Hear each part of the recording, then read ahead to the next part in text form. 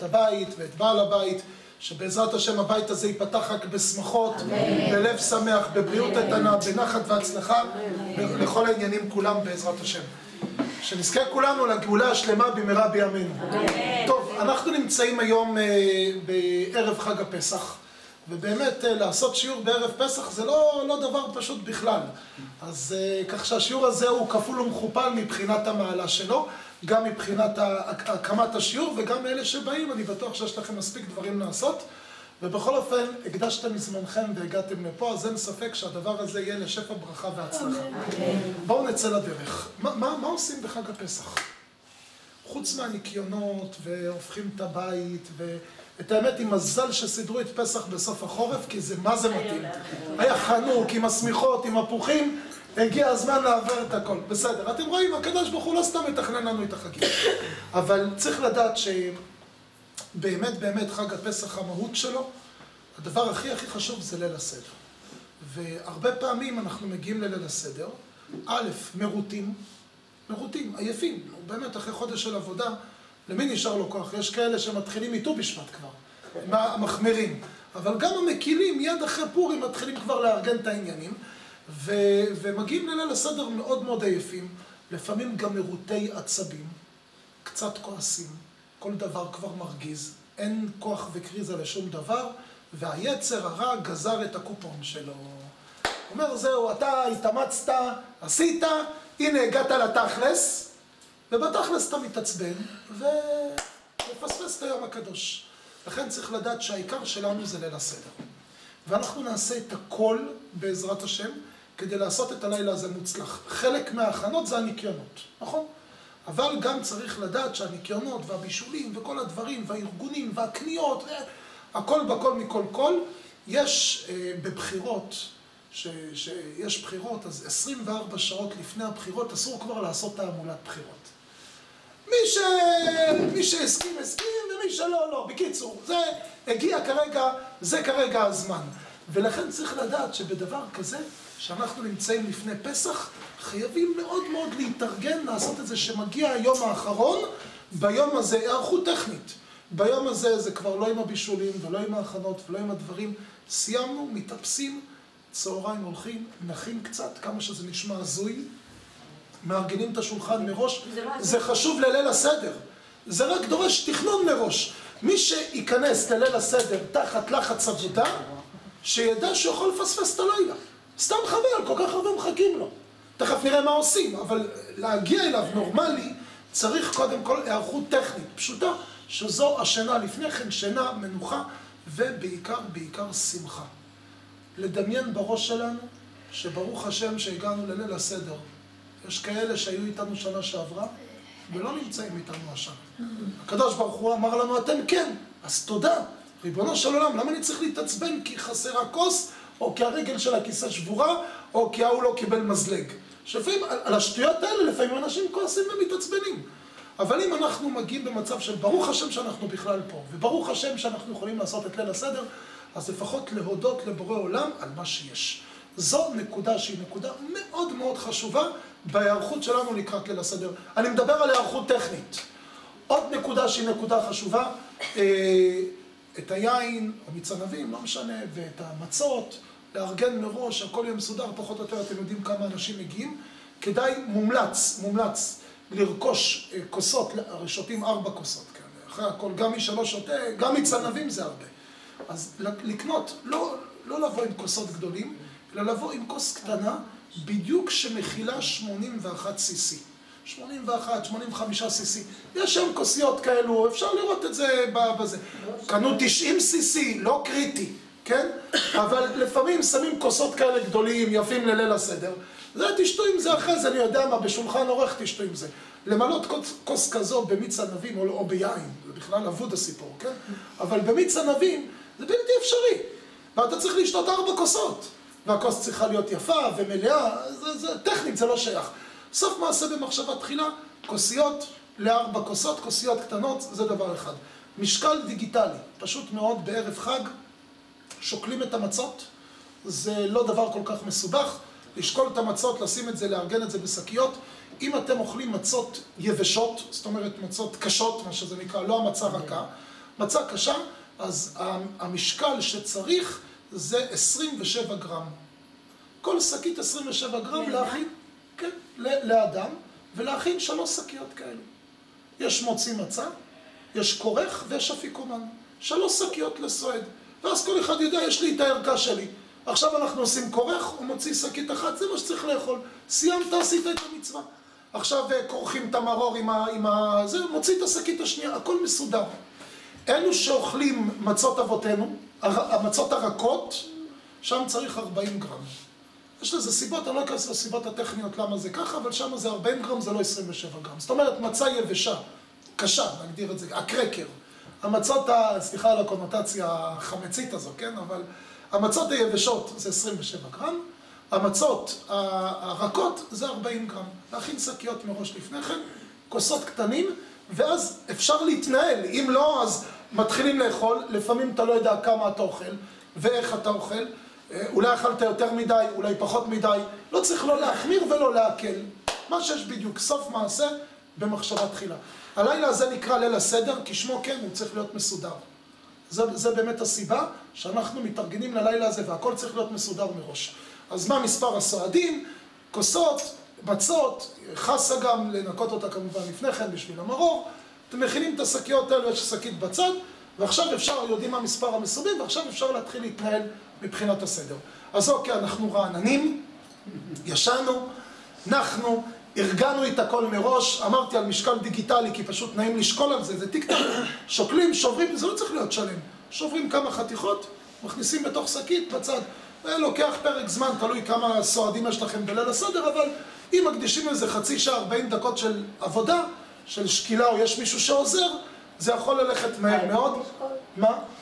לא, לא חייבים. אבל אני אגיד לך מה הבעיה. אם אנחנו לא חייבים בליל הסדר עצמו, אין לי כל כך אומדן, שאני מחזיק מצה, כמה היא שוקלת? כמה אני צריך לשבור ממנה כדי לאכול כזית? אז יכול להיות שלפעמים אני אוכל יותר מדי, כי אני, אני אומר, אולי עוד לא אכלתי מספיק, ואני סתם מתמלא, כי אני צריך לאכול שלוש כאלו. אם זה פעם אחת, לא, לא כזה נורא, אבל אם אני צריך לאכול שלוש פעמים, ובאמצע שולחן עורך, ו... אז כבר הסיפור הופך להיות מורכב יותר. לכן מומלץ לשקול מראש. היום המצות, מכונה. המכונה זה המשקל המדויק של מצה. של 27 גרם? כן. מי שאוכל מצת מכונה, הרבה אנשים כן. בליל הסדר אוכלים עבודת יד, אני או דברים כאלה, רק לליל הסדר. מי שלא, אז... אה, בסדר, מי שלא, אז הוא צריך ללכת לגמור מצה אחת. אם שקלת את זה, אז אז זה המשקל. בסדר, זה למעשה, זה למעשה הרעיון שיש פה בדבר הזה. טוב, זה 45 גרם. לא, אני אמרתי 27 גרם, ומצה רכה, 40. 40 גרם. אה, הפיתות. פיתות, מצה רכה. מצות אבותינו, לא יודע איך קוראים לזה, אבל המצות הרכות. שם צריך 40 גרם אה, ליחידה, לא 27 גרם. בסדר? זה לא נורא, זה חתיכה כזו קטנה, אני אה, בדקתי את זה אצלי, זה לא, זה לא חתיכה כל כך גדולה, זה אולי נשמע הרבה יותר. מבחינה הזאת. טוב, בסדר, סיימנו את הכל, עכשיו אנחנו מגיעים לליל הסדר, רעננים, שמחים, רגועים, מאורגנים. אתם מגיעים רעננים שמחים. לא, אני מדבר על אנשים. אני מדברת על זה. לא, לא, עזבי, עזבי, יש לנו כמה דברים להתארגן לחג, הלוואי יגיעו הגברים שמחים. אה, יש אה, אפיית מצות, יש כמה היע- היערכויות טכניות, אבל לא משנה. אני אגיד לכם, חשוב מאוד, חשוב מאוד, אני מדבר על אנשים, אני מדבר על האישה.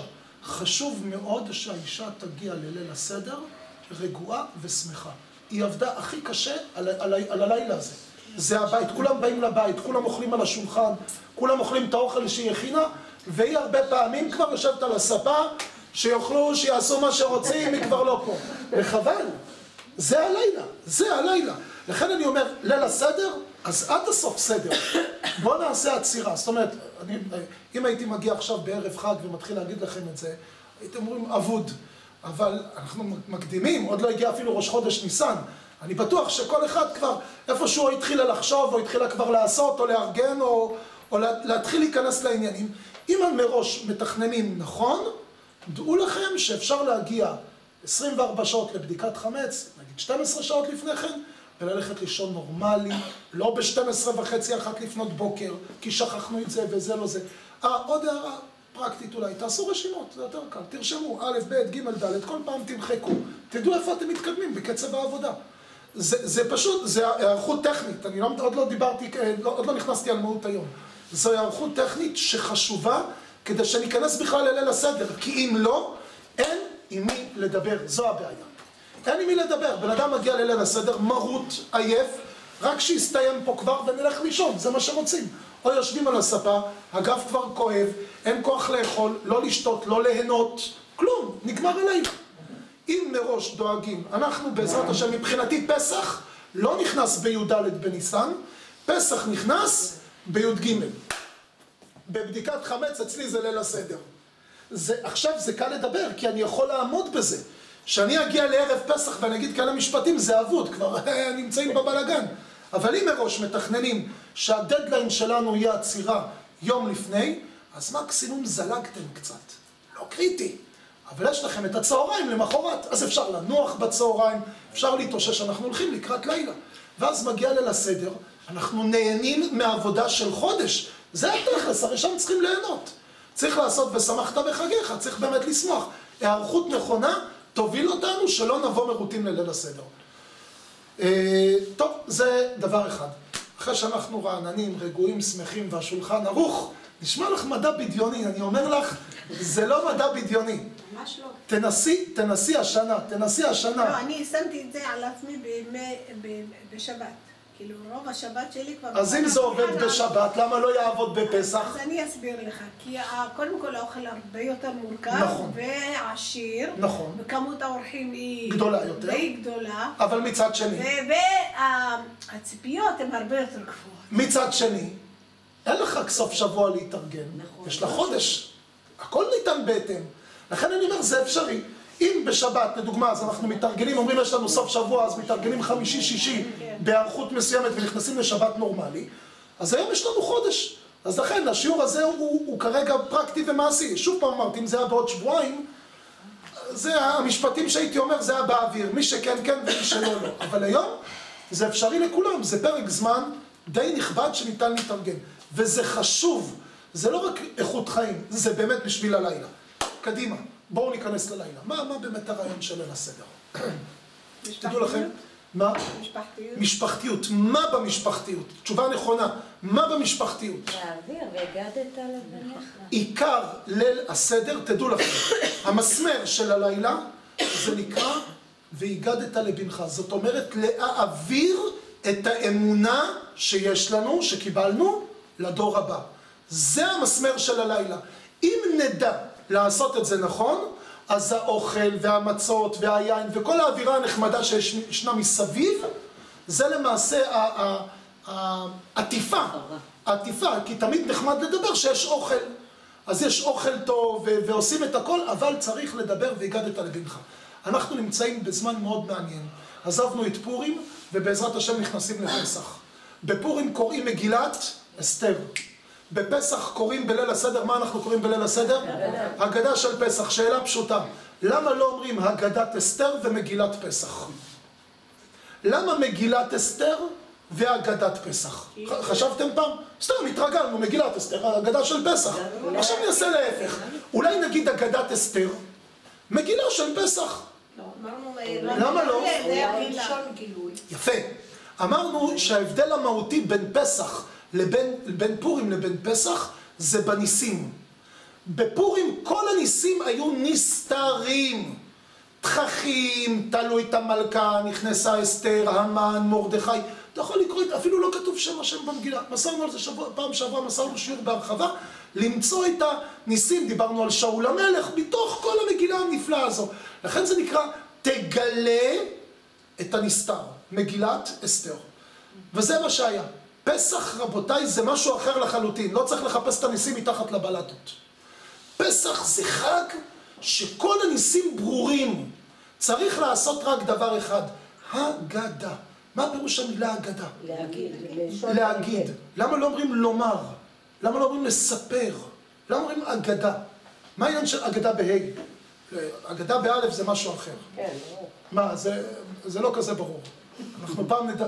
אני חושב שפעם הזכרתי על אגדות, מושג של אגדה. היום, כשאני אומר אגדה באלף, אז כולם מבינים אוטופיה.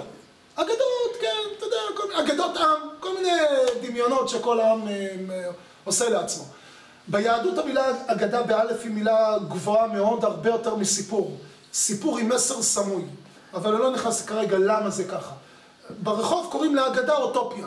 ב- ביהדות, שמגדירים את המילה אגדה, זה מסר סמוי תחת סיפור. נושא בפני עצמו, אני בהגדה שלי, הגדה של פסח. מה פירוש המילה אגדה? אגדה זה משורש המילה גדה, גדה, ג' ד' ה', זה השורש של המילה הגדה. ביהדות השפה היא שפה מהותית ולא שפה הסכמית. למשל, באנגלית סיכמו ביניהם שלחתול יקראו כת ולהעביר ער. למה ככה? כי ככה, כי הסכמנו שאני אתה והוא, ככה נקרא לזה, ככה יהיה חתול. בלשון הקודש, שאני מגדיר דבר, נותן לו מילה, המילה היא מגדירה את המהות שלו. השפה היא מהותית. מה הפירוש גדה? בנהר, יש לנהר נקודת מוצא. הכוונה זה השורש שלה. מיד אני אסביר. בג... בנהר יש נקודת מוצא, ויש את הסוף, שבדרך כלל זה בים, כל הנחלים הולכים לים. מה שמלווה את הנהר לאורך כל התוואי שלו, זו אגדה. אגדה, שפת הנהר, הגדה, היא מנקודת המוצא ועד נקודת היעד. מלמדים אותנו חכמינו שיש הבדל מהותי בין קטן לגדול. גדול זה מלשון גדה. קטן זה מלשון קטוע, קטיעה.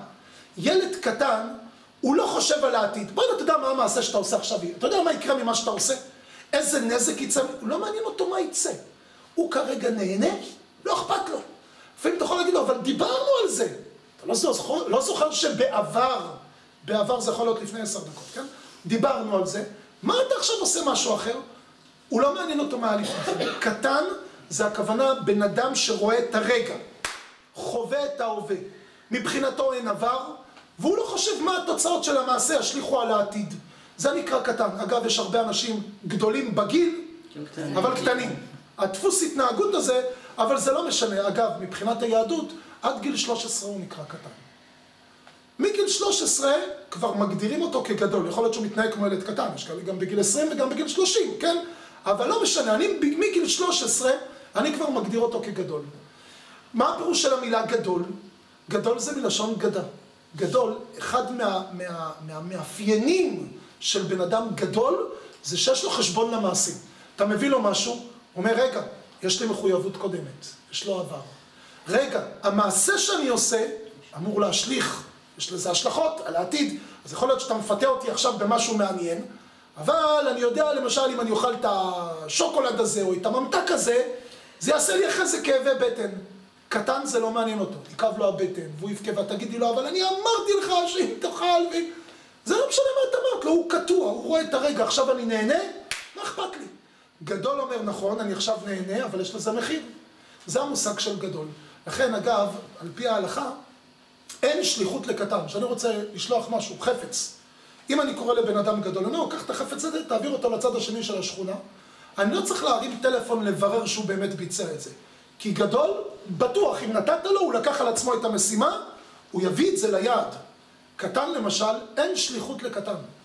לא שהוא לא יכול לקחת חפץ, אבל צריך לבדוק שהוא באמת עושה את זה. למה הוא יכול פתאום למצוא אותו בגינות המשחקים, משחק, אבל שלחתי אותך להביא, אני יודע, משהו מהסופר. שכחתי. זאת אומרת, סוג של קטיעה, זה בדיוק הקטע. הקטן הוא הקטוע. עכשיו נחזור להגדה של פסח. הגדה זה מלשון גדה, חיבור בין העבר, דרך ההווה, לנקודת העתיד. זה מושג של גדול. מחבר את העבר להווה, ומשם ממשיך אותו כלפי העתיד. הגדה של פסח זה הניסים מאוד ברורים. כל הרעיון של הניסים זה לקחת אותם מהעבר, שזה יציאת מצרים, להביא אותם להווה, ומההווה לחבר אותם לדור ההמשך, שזה העתיד. לכן זה העניין של הלילה, בשביל זה חשוב שנהיה ערניים. האמא והאבא, כל אחד מהזווית שלו, זה מוסיף מפה, ההוא מוסיף משם, אבל חייבים להעביר את המסר. אם הגענו, אנחנו, ראשי המשפחה, גמורים, אז אולי נאכל משהו טעים, אולי נשתה משהו, אבל לא העברנו, פספסנו את היעד. לכן חשוב מאוד, לכן זה נקרא הגדה של פסח, בשונה ממגילת אסתר. פה יש ניסים ברורים, כל הרעיון זה לשנע אותם, להעביר אותם לדור הבא. מה צריך להעביר ולשנע? אז בואו נגדיר כאן כמה וכמה דברים. מה המטרה באמת של לתת כמה דוגמאות, מה חשוב להדגיש בעיקר, בעיקר בליל הסדר. אגב, אני אתן פה מכלול. אני אומר לכם, אל תעשו הרצאה על השולחן, זה לא עובד. ליל הסדר זה לילה פרקטי, מעשי, מתוקתק, גם לא למשוך יותר מדי, כמו שאמרנו בסעודת שבת ובעוד הרבה הזדמנויות. כל מה שקשור לסדר משפחתי צריך להיות זורם. יש ילדים שאין להם קוצים לשבת, יש מבוגרים שיכולים לשבת עד הבוקר. צריך למצוא את הדבר שבאמצע. יש משהו- גם מבוגרים שאין להם... שגם אין להם קוצים לשבת, נכון, לכן צריך לעשות את זה בצורה יפה ומתוקתקת. אני אתן כאן רעיון, הרעיון הוא טיפה גדול, אבל תתפסו את הרעיון ותיקחו ממנו דברים קטנים, שאתם תוכלו בעזרת השם להעביר לפחות מסר קטן, להעביר אותו על השולחן. ואז אם אנחנו מעבירים, קיימנו את המצווה. מספיק אני אומר לכם שהילדים או הנכדים קלטו דבר אחד, עשינו את המצווה שלנו, לא צריך יותר מזה. אז מה צריך לעשות? טוב, אז ככה, בליל הסדר יש לנו למעשה את עשרת המכות. דם, צפרדע, קינים, ערוב, דבר, שכין, ברד, הרבה, חושך ומכת בכורות. אלה הם למעשה עשרת המכות. בהגדה של פסח אנחנו נקרא שרבי יהודה היה נותן בהם סימנים. מה עושה את זה ראשי תיבות? מה הסימנים? זוכרים? תצח, עדש, באחד. יפה. זה ראשי תיבות נחמדים מאוד. אגב, שאלה פרקטית, למה צריך בכלל סימנים? בשביל מה צריך סימנים? אה, תאמינו לי, יש הרבה ילדים שיודעים אה, את עשרת המכות יותר מעשרת הדיברות. עשרת הדיברות, תגיד לו, תגיד את עשרת הדיברות, הוא לא יודע. עשרת המכות כולם יודעים. והגננת גם עושה את זה יפה, עם חוויה, בגן, עם אה, ציורים ועם המחשות. זה נכנס לילדים יופי. את, את עשרת המכות הם זוכרים. בשביל מה צריך סימנים? למה צריך לחלק את הסימנים ל, שימו לב, דצח זה דם צפרדע קינים, אחרי זה עדש, ערוב, דבר, שכין, שלוש, שלוש, ובסוף עושים ארבע. ברד, הרבה חושך, מכת בכורות. למה לעשות חלוקה של שלושה? אולי נעשה חמש, חמש, חלוקה של שניים. אולי ארבע, שלוש, שלוש. למה שלוש, שלוש, ארבע? אולי שלוש, ארבע, שלוש. למה רבי יהודה בחר לעשות סימנים? סימן הכוונה היא אה, משהו שאמור לעורר לי את הזיכרון, זאת אומרת משהו שאמור להקפיץ לי פה משהו. והוא מחלק את זה לשלושה. מה מסתתר מאחורי העניין הזה? פה נמצא כל המהות של חג הפסח. שימו לב טוב. רבי יהודה לא סתם חילק את זה לשלושה, ולא סתם השלוש הראשונים היו שלוש, ואחרי זה עוד פעם שלוש, ובסוף זה ארבע. למה? במצרים עיקר העבודה, כל העניין של עשרת המכות, זה להחדיר בתוכנו את האמונה. זה הרעיון של עשרת המכות. הרמב"ם כותב שלילדים הקטנים קשה לדבר איתם. מה שעכשיו אני אגיד, אל, אל תעבירו לילדים קטנים, זה אבוד מראש. הילד הקטן, אומר הרמב"ם, לא קולט עניינים של אמונה ורעיון. הוא אומר הרמב"ם לילד הקטן, תגיד לו, עבדים היינו לפרעה במצרים. איך? כמו העבד הזה וכמו השפחה הזאת. תצביע. היום, את האמת היא, היום אין עבדים ואין שפחות. יש עובדים זרים, יודע, גם זה לא משהו, לא דוגמה כל כך מוצלחת. אתם תאמינו לי, יש להם זכויות לפעמים יותר טובות, יותר, יש להם חופשי, ועכשיו צריך לתת לו דמי כיס, ואת זה הוא לא עושה, ועוד... בקיצור, מושג של עבד, לא יודע אם סיפרתי לכם פה פעם, היה לי חבר שטס לדרום. דרום אפריקה, ליוהנסבורג. הוא היה שם, לא יודע מה, הוא יותר אולי מתעסק עם יהלומים, עם דברים מהסוג הזה. והוא ישב שם, התארח אצל איזה אדם אחד שעשה איתו עסקים, יהודי, בווילה שלו. עכשיו, הוא סיפר לי, הוא אומר, יש שם, הם ישבו באחת לפנות, 12 בלילה, אחת לפנות בוקר, הם ישבו בחצר. הייתה לו בריכה גדולה מאוד, והם ישבו שם על איזה שרפרף, על איזה משהו, פטפטו ביניהם, שתו משהו. ואז ההוא מהארץ, אומר לבעל הבית שם ביוהנסבורג, אומר לו, תשמע, אתה יודע מה היה מתאים לי עכשיו? לקפוץ לבריכה, לעשות איזה שחייה ככה, הלוך חזור, לאור ירח, מים ככה תחלחלים, קרירים. נראה לי שזה מה שהיה מתאים לי עכשיו. טוב, בסדר, עם העניבה והז'קט, מה זה, יושבים פגישת עסקים, לא מה עכשיו ולקפוץ לבריכה. כאילו, אין לי את הציוד המתאים. אומר הבעל הבית, תסתכל עליו. אמר לו, אתה רוצה לשחות? אמר לו, כן. אומר, מה שקרה ברגעים הבאים, אומר, השאיר אותי מוכה הלם. אומר, הבעל הבית עשה ככה. פעמיים, שתי מחיאות כפיים. אומר, אני לא יודע מאיפה, אבל לא שמתי לב לפניכם, על דרגש עץ בצד. ישן שם אחד מהכושים שם, ששם יש להם הרבה שחורים שם שעובדים להם, ישן שם אחד על הדרגש. אומר הבעל הבית עשה, הופ, הופ. ההוא קפץ נעמד משינה, עבר למצב עומד. מה אתה צריך בעל הבית? אומר לו, האורח שלי רוצה לשחות. הוא לא אמר יותר מזה. הוא אומר, כמה רגעים לאחר מכן, מגבת מקופלת, כלי רחצה, בגד ים, הכל, משקפי אה, שחייה, הוא אומר, ערכה מסודרת על הדרגש. וההוא נעלם. הוא אומר שהבעל הבית אמר לו, רצית לשחות? אומר, עוד הוא ישב ככה על הכיסא, לא הבין מאיפה זה בא באיזה מהירות. הוא אומר, ואז הבנתי מה המושג של עבד. עבד לא יכול להגיד, לא, סליחה, 12 בלילה, אני לא עובד בשעות האלה. אני עובד אצלך מ-8 עד 4. זה שכיר. שכיר עובד מ-8 עד 4. עבד זה אחד שמשועבד לבעל הבית 24 שעות. אם בעל הבית רוצה כלי רחצה, יהיה פה כלי רחצה. ואם בעל הבית רוצה עכשיו שיקנו לו בסופר, אז הוא הופך להיות משלוחן של סופר. ואם הבעל הבית רוצה עכשיו שעשו צבע על הקיר, אז הוא הופך להיות צבעי. זה נקרא עבד. עבד, כל המהות שלו משועבדת לאדון שלו. אין לו חירות. הוא אומר, ככה צריך להסביר לילדים. בני, המצב שלנו היינו עבדים.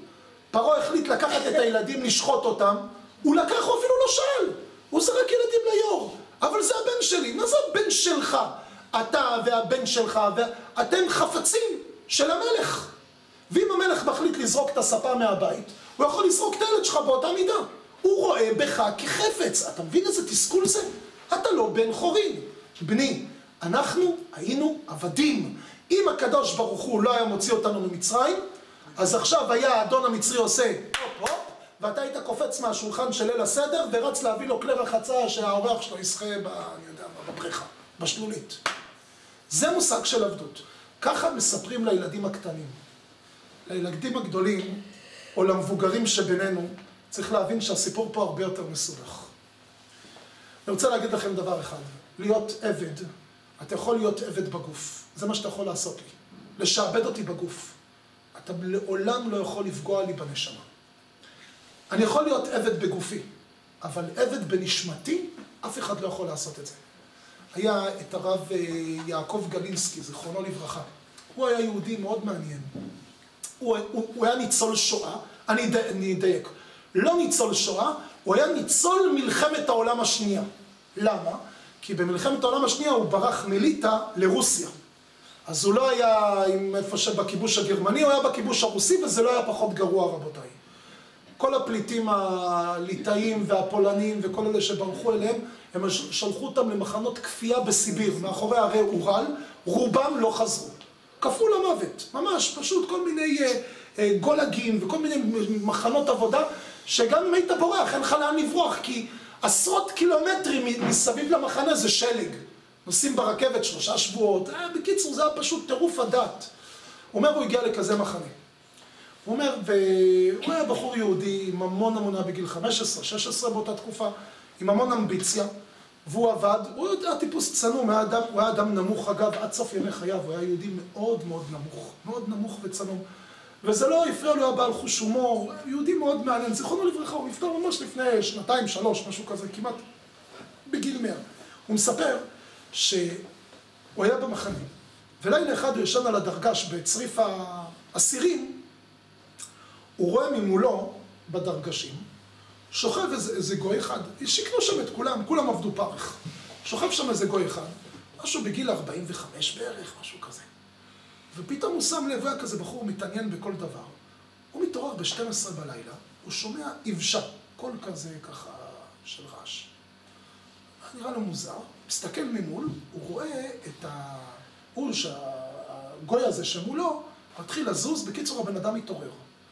מוציא מתחת לכרית איזה שקית בד קטנה מקופלת, פותח אותה, מוציא מתוכה כל מיני דברים, מתברר שהוא מוציא מדי צבא. יורד מה... מהדרגשים, נעמד, שם מהר על הכותונת של האסירים, שם את המדי צבא, סוגר את הכפתורים, ואז הוא עושה סדרת פעולות. ככה, ככה, ככה, כל מיני תנועות כאלה מוזרות, 30-40 שניות, לא יותר מזה, פותח את הכפתורים של החולצה, מקפל, מכניס בתוך השקית, טפס על הדרגש, נכנס, דוחף את זה מתחת לכרית, ונרדם. כל הקטע כולו ארך מקסימום חמש דקות.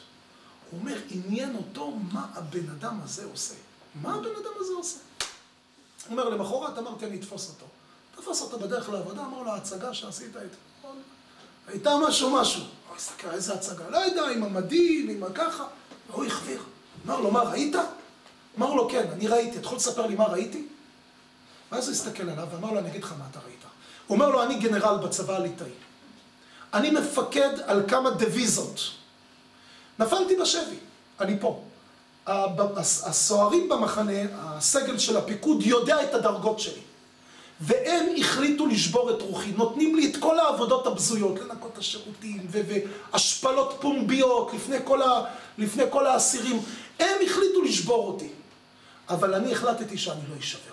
אני גנרל. אז מה אם אני עכשיו עם הפיג'מה של האסירים?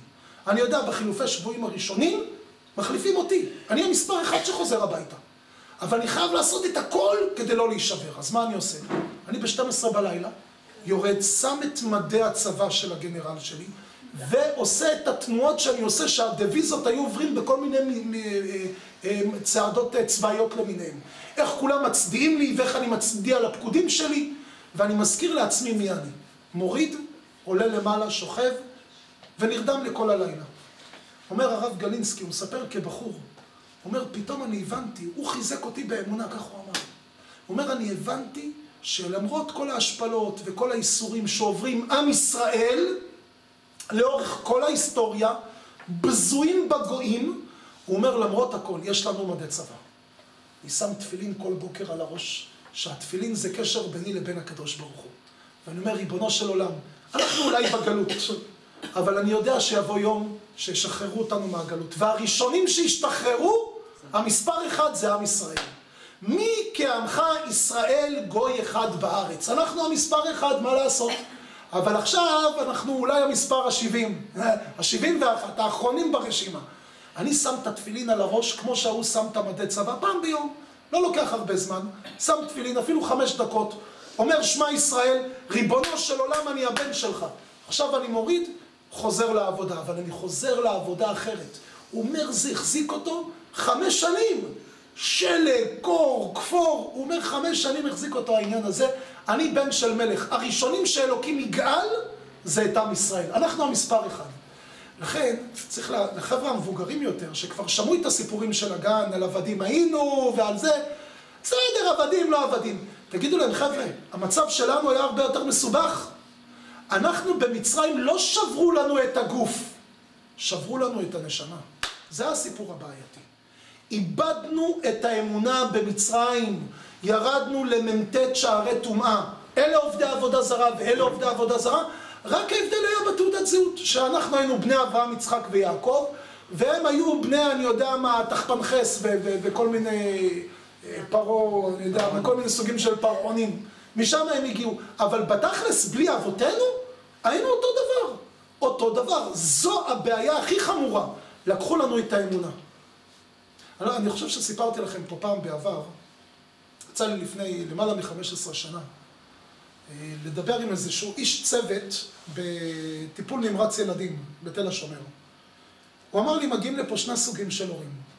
סוג אחד של הורים שמגיע לכאן, זה הסוג ששומע את המצב הרפואי של הילדים, מתמוטט. מתמוטט, פשוט אומרים מה, מה אין סיכוי. וסוג שני של הורים, הם מביעים תקווה ואופטימיות.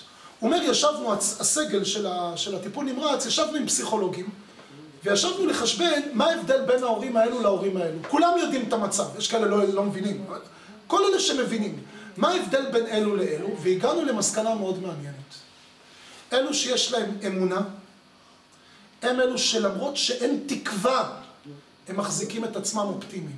ולמרות שלפעמים אין סיבה לאופטימיות, ובסוף גם אין אופטימיות, הם לא נשברים.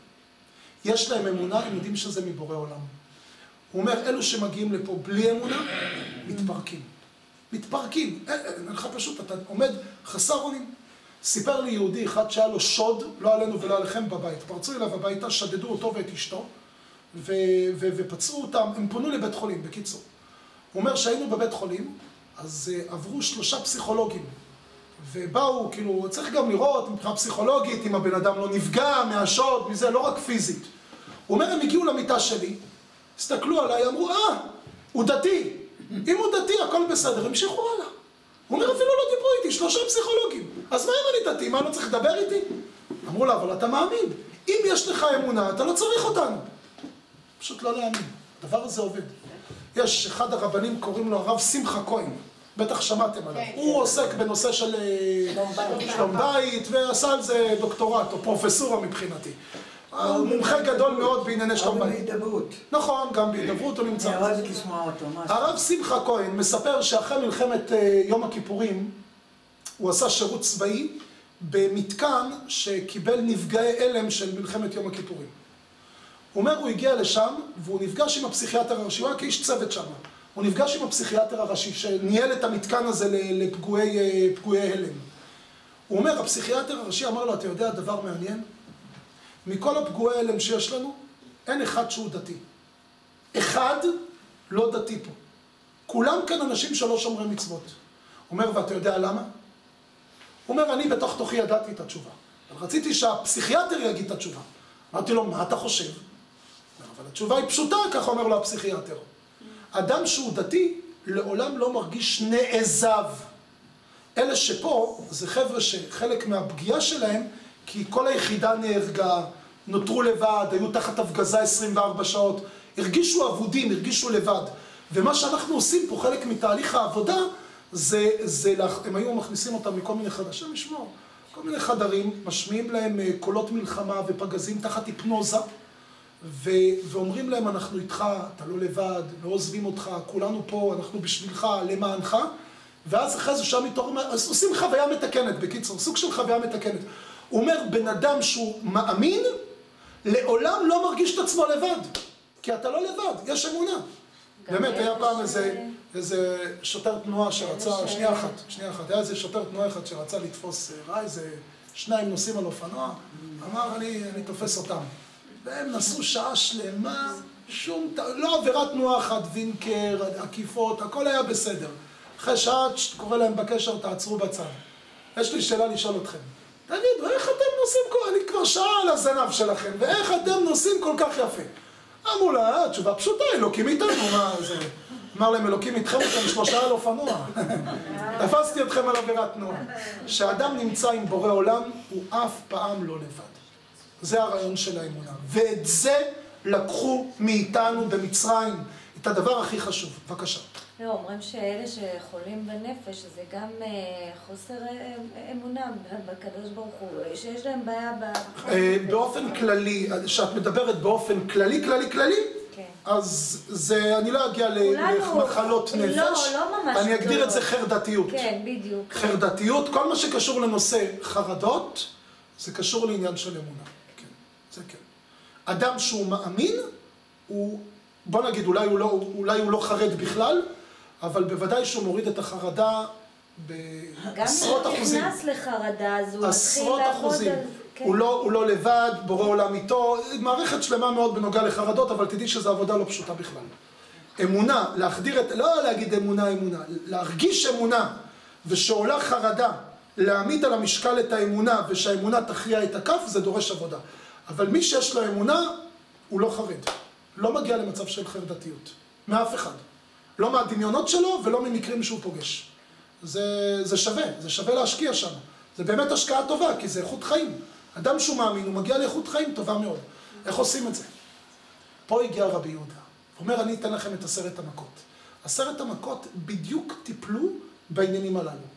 קבוצת המכות הראשונה, דם צפרדע קינים, הייתה כנגד אלו שטענו שאין אלוקים. השמיים ריקים. אין בורא לעולם. מי האלוהים אז? פרעה אמר, אני האלוהים. עוד אחד אמר, היאור זה האלוהים. מפה אוכלים, מפה שותים, פה יש דגים, זה אלוהים, זה שפע. אז היאור קיבל מכת דם, הסריח. אחרי זה מהיאור המסריח יצאו צפרדעים לא פחות מסריחים, והגיעו לפרעה שטען שהוא האלוהים מספר שתיים, והצפרדעים שם קרקרו, וסליחה חוץ מכבודכם, אבל uh, הם נכנסו להם כתוב בתוך הבטן. וקרקרו בתוך הבטן שלהם, בדרך נס, ועלו בך, בתנוריך, במשארותיך, בחדר משכבך, בבתיך ובבתי כל עמך ועבדיך, בקיצור, בכל מקום היו צפרדעים. אי אפשר היה לדרוק על הרצפה.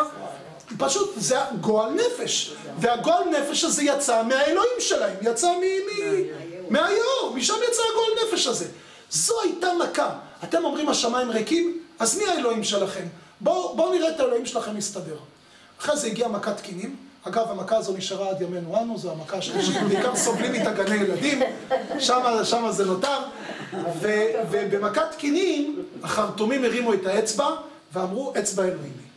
השמיים לא ריקים, פרעה, אנחנו מודים ומתוודים, אנחנו חשבנו אין אלוהים, אבל במכה הזו, איך אומרים, בורא עולם פירק לבנה לבנה, הם אמרו, יש בורא לעולם. אין, זה פשוט לא יכול להיות, זה...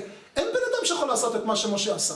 סימן שמשה לא עושה מכוחו, אלא בורא עולם הוא שולח אותו. הייתה קבוצה שנייה במצרים. התפרקה הקבוצה הראשונה, זה דם צפרדע קינים.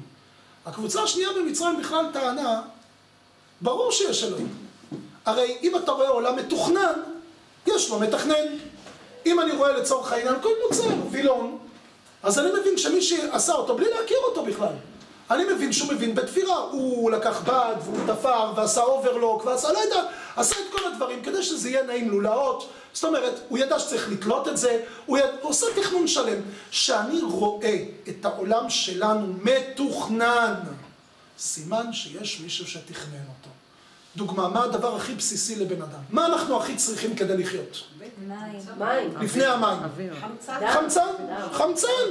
אין חמצן, לא יעזור לא מים ולא אוכל ולא כלום. אנחנו לא יכולים, בחלל אי אפשר לחיות. חמצן. אתם יודעים שחמצן זה חומר דליק? כן? אסור לעשן מיד מיכל חמצן, זה מתלקח על המקום. עכשיו, אתם יודעים שבלי חמצן אי אפשר לחיות? יופי. מה היה קורה אם אלוקים היה שם פה בעולם שלנו יותר מדי חמצן? היינו נושמים מצוין, מישהו היה מדליק סיגריה, הוא היה שורף את כל השכונה, כי הכל היה נדלק. אם אלוקים היה שם בעולם שלנו פחות מדי חמצן, אז אמנם העולם לא היה דליק ולא היו שריפות, אבל אה, אי אפשר גם היה לנשום. כל נשימה, השם ישמור, זה כמו חולה סייף. היינו מזיעים כדי לנשום. היית משקיע את, את, את, כל, את כל הכוחות שלך כדי לקחת את הנשימה לתוך הריאות. בורא עולם אומר, תשמעו, אני שם איזון. לא יותר מדי חמצן, שלא יהיה דליק. לא פחות מדי חמצן, שלא תתאמצו. כוח המשיכה. כל מה שאני זורק נופל לרצפה. כוח המשיכה תלוי בגודל כדור הארץ. זאת אומרת, למשל הירח קטן מאיתנו בשישית, לכן התמונות של האסטרונאוטים הם קפצו שם. יש משיכה לירח, אבל המשיכה שלו מאוד קלה. זאת אומרת, אני יכול לתת זינוק ולנחות אחרי עשרה מטר, כמו איזה קנגרו, בלי מאמץ. למה? כי הכוח המשיכה הוא מאוד חלש. אני זורק כדור, והוא יכול לעוף ולעוף, בסוף הוא ינחת באיזשהו מקום, אבל זה מאוד מאוד, המשיכה של הירח היא מאוד חלשה. תארו לעצמכם שכדור הארץ היה קצת יותר קטן. היית מתחילה ללכת, ותוך כדי מרחפת באוויר, ופתאום אה, נוחתת, ופתאום זה, זה היה ללכת, זה לא היה ללכת. אם כדור הארץ היה קצת יותר מדי גדול, כמו כוכב מאדים למשל, כוח המשיכה של כוכב מאדים הוא פי 20 מכוח המשיכה של כדור הארץ. זאת אומרת, אם אני יושב על הכיסא, כדי לקום מהכיסא אני צריך מנוף שירים אותי מהכיסא הזה. למה אני נדבק אליו. כוח המשיכה הוא מאוד עוצמתי. להרים את הרגל זה עם הידיים, זה לא ללכת ככה. תארו לעצמכם שכדור הארץ זה קצת יותר מדי גדול. היית מתיישבת על ספסל, זה במאמצים מרובים להגיע מפה לחנות מכולת. כי כל פסיעה זה אה, להתהלך. בורא עולם לא עשה את הכדור גדול מדי ולא קטן מדי, שם אותו בדיוק שמצד אחד לא נתעופף, ומצד שני לא נתאמץ, שזה יהיה נורמלי. זה אומר שיש מתכנן. אמרו הקבוצה השנייה, נכון, ברור שיש אלוקים, ברור שהוא מתכנן את העולם, אתה רואה עולם, אתה רואה אלוקים. אבל בורא עולם לא מנהל את העולם. ברא את העולם, נתן את המפתחות לפרעה, אני יודע מה לחברים שלו, והם מנהלים את כדור הארץ, הם הבעלי בית. באה הקבוצה השנייה של המכות, ואמרה אלוק, אלוקים, אני פה, פה, לא הלכתי לשום מקום. הרוב הגיעו חיות מכל העולם. אני השם בקרב הארץ. דבר, כל הבעלי חיים ימותו. אני שולט בבעלי חיים, שולט במיקרובים, בחיידקים. מה יתקוף בעל חיים כזה ומה יתקוף בעל חיים אחר. אצל בני ישראל לא יהיה פגיעה, רק אצל המצרים. ולאחר מכן הגיעה מכת שכין. שכין זה היה סוג של אבעבועות רוח כאלו, אבל שלט במצרים, הנה אתם רואים המצרים, אני פה, כל החיידקים, הווירוסים, כל הדברים הקטנים, אני נמצא פה. שולט בחיות, שולט בדברים, לא עזבתי את העולם. וזה למעשה שתי הקבוצות הראשונות היו יחסית, שימו לב למה שאני מדגיש, יחסית הקבוצות הקלות. ולכן אחד קיבל שלוש מכות התפרק, עוד אחד קיבל שלוש מכות התפרק. נותרנו עם ארבע מכות אחרונות, ברד, הרבה חושך, מכת בכורות. כנגד מי הקבוצה הרביעית? צר לי, אבל הקבוצה הרביעית היא עוסקת אצלנו. מה זאת אומרת? כן. אנחנו בקבוצה הרביעית צריכים לחזק את הקבוצה הרביעית, את השלישית, שיהיה ארבע מכות. הקבוצה השלישית במצרים טענה, יש אלוקים, ברור. זה שהוא שולט בעולם ואתה מחיה את כולם זה ודאי, אבל אין השגחה פרטית. דיברנו על זה המון המון פעמים. יש הרבה אנשים מאמינים, אבל מה דרגת האמונה שלך? איך אתה מאמין? באיזו רמה אתה מאמין בבורא עולם? האם אנחנו מאמינים? אגב, אני מדבר גם לעצמי, כי זה עבודת חיים. האם אנחנו מאמינים שבכל רגע ורגע, מה שקורה, בורא עולם משגיח עלינו בשנייה הזו הנוכחית?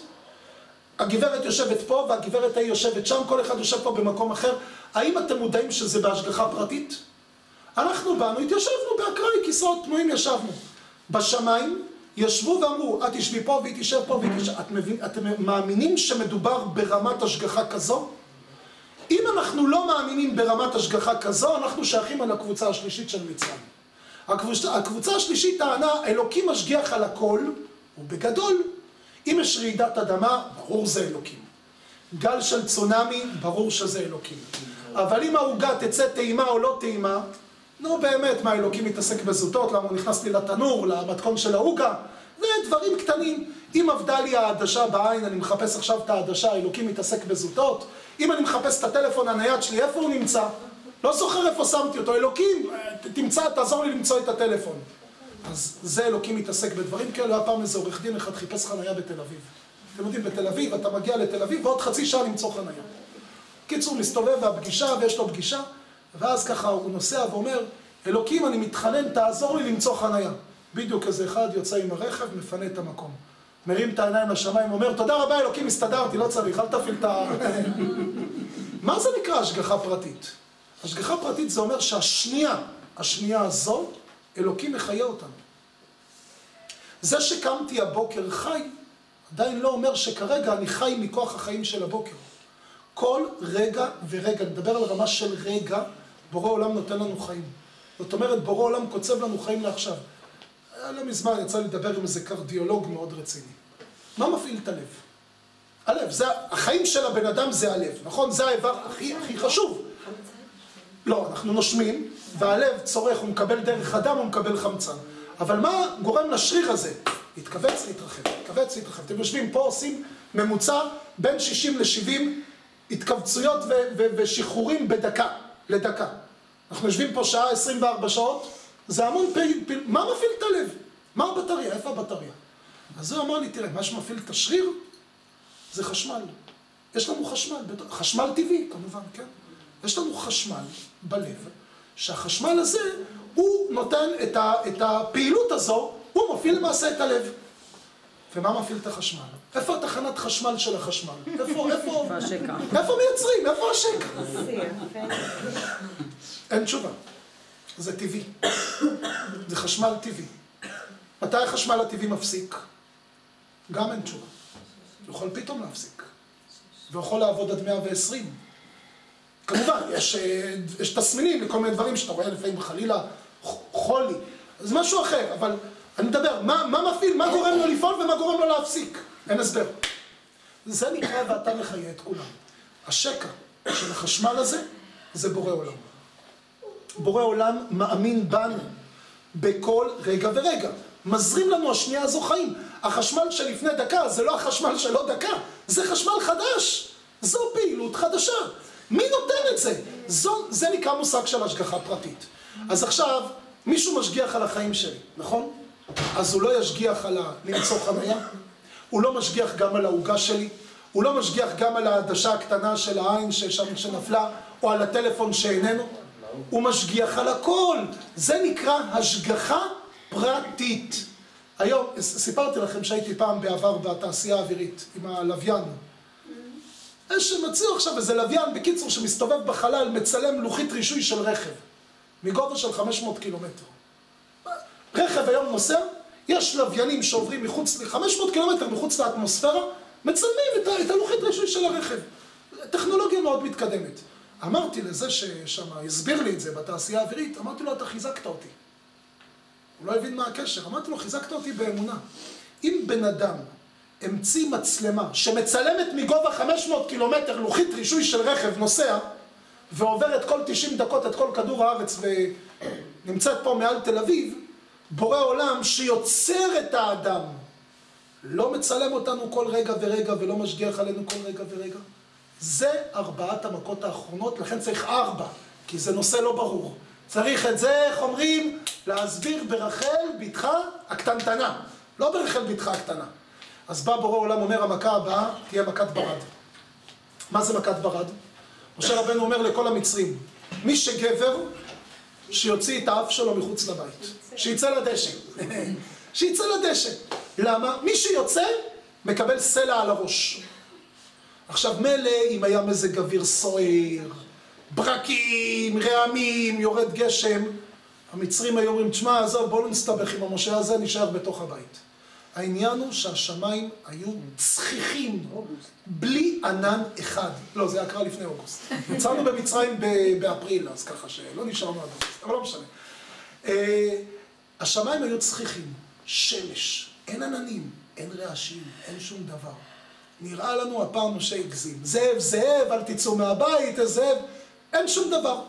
ואז המצרי הראשון יצא לדשא, פתאום שריקה, משום מקום, לא יודע מאיפה זה נחת.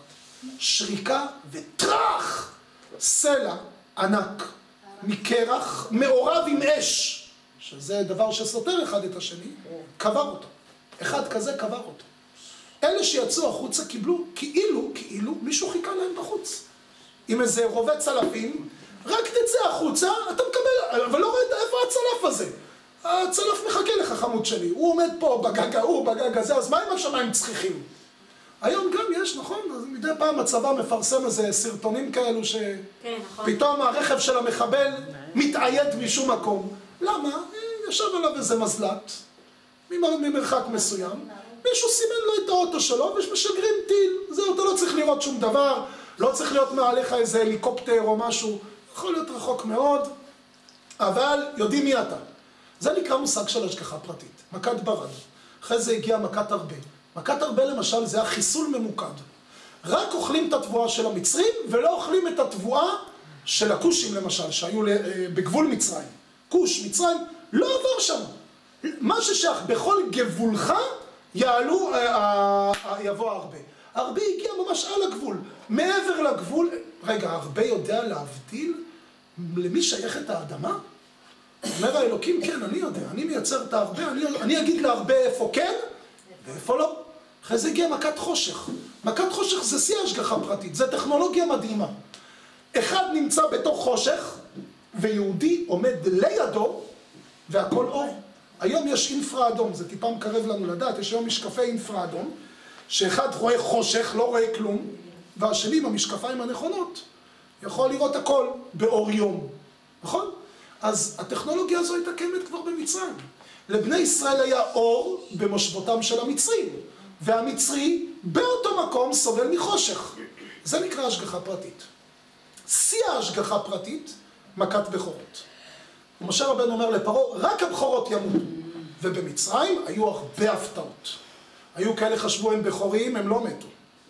היו כאלה אמרו הם לא בכורים, הם כן מתו. היו שם הפתעות אה, קשות מאוד, הייתה שם צעקה בכל מצרים. זה מראה על השגחה פרטית מדויקת. קם פרעה באמצע הלילה, אמר להם, חבר'ה, די, סיימנו, פירקתם אותי לגמרי. קומו צאו מתוך עמי. במקום הזה למעשה התחזקו כל מרכיבי האמונה. המרכיב שיש בכלל בורא לעולם, שבורא עולם פה, בעולם שלנו, והכי הכי חשוב, שבורא עולם משגיח עלינו בהשגחה פרטית. את זה צריך להעביר לחבר'ה המבוגרים. להגיד להם, עבדים היינו עבדים, בסדר, לסחוב לבנים זה עדיין לא עושה אותי עבד. אולי, אולי כואב לי הגב, אבל עבד זה עוד לא עושה אותי. אולי עבד בגוף, לא עבד בנשמה.